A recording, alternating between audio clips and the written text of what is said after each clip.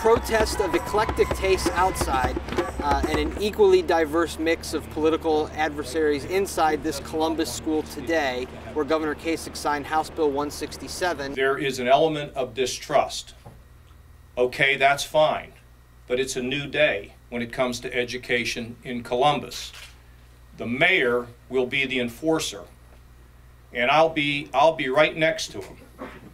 And we hope that the city council and the school board will be right there, and I believe they will be. And to the moms and the dads, uh, we need to make sure we carry out the promises.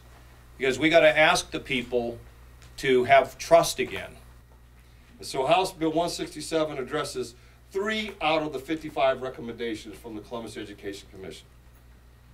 It authorizes our voters to create an independent auditor to root out waste fraud and abuse, to bring sound management to the district finances, and to prevent wrongdoing and to re restore trust in this community.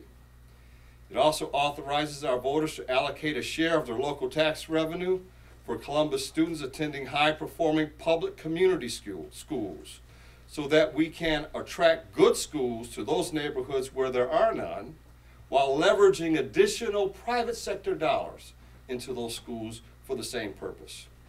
And finally, to authorize the city to sponsor high-performing community schools to give us a choice and a voice of quality schools to educate our kids. Is it the 15th? Come on over here. Everybody out there that's all steamed up, calm down. Columbus schools are on the move. Calm down. Hard for me to count the number of ways that I'm opposed to the number of policies that Kasich and the Ohio GOP have passed.